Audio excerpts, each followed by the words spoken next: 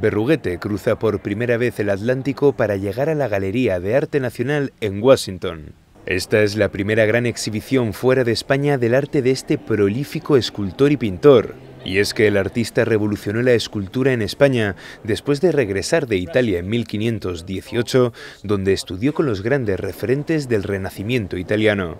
La muestra incluye parte de su obra más popular, pero también su faceta menos conocida como pintor y dibujante, por lo que los visitantes podrán disfrutar de esculturas como el sacrificio de Isaac, pero también de dibujos en los que deja entrever la influencia de sus años de estudio en Italia. La muestra estará abierta al público en Washington desde el 13 de octubre hasta el 17 de febrero de 2020, para viajar entonces a Dallas, donde estará desde el 29 de marzo al 26 de julio.